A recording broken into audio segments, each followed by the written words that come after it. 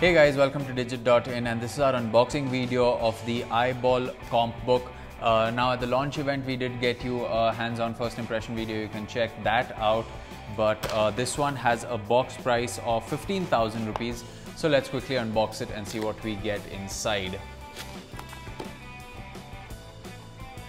So we have the Eyeball Comp book itself.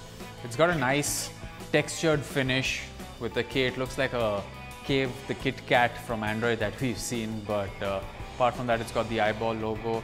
It's not exactly light for its size, but let's quickly uh, get open.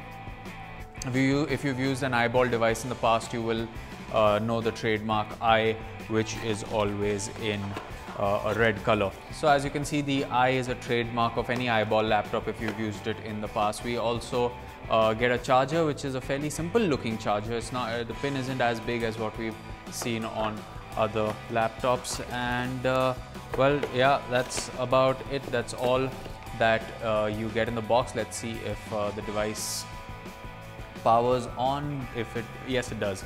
So while the device is powering on, let's just quickly read you uh, some of the specifications of the device. It has an Intel Atom processor, the Z3735F up to 1.83 gigahertz. It's uh, running on Windows 10. It has uh, 2 GB of DDR3 RAM. It has 32 GB of built-in storage, uh, expandable up to 64 GB through a micro SD card slot. It's got 11.6 inch HD display with a resolution of 1366 by 768. Um, it has the touchpad, uh, multi-touch uh, touchpad. It's got a 10,000 mAh battery and the camera on the front is a 0.3 megapixel camera. It's got dual speakers, uh, 3.5 mm combo jack for the headphones and the microphone. It has Wi-Fi, Bluetooth 4.0, mini HDMI 1.4a, two USB 2.0 ports and it weighs 1.9 kilos. So there you have it. That was our unboxing video of the Eyeball Comp book. Once again, just to get you uh, a look. It does not, it is not detachable, so this isn't really a hybrid. And uh, I kind of like the blue color, uh, in all honesty. It's something that if uh, you are looking for an entry-level laptop or notebook just for college work, uh, it at least has the aesthetic look and appeal of a device that can get the job done. The keyboard seems to be fairly uh, okay right now. We'll of course review it to give you a verdict. The trackpad anyway feels a little rough, but I guess that's a budget compromise.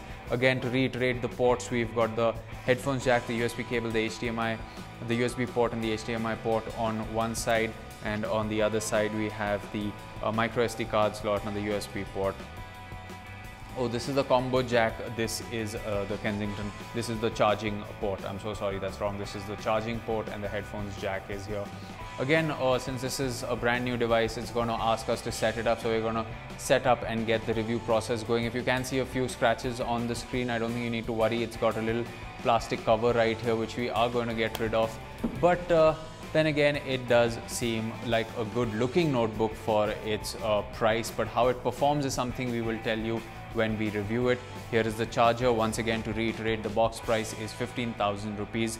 As always, you can always let us know in the comment section below what you thought of this video. If you like the video, hit the like button and for more videos like this, stay tuned to the Digit YouTube channel. We'll catch you in another video.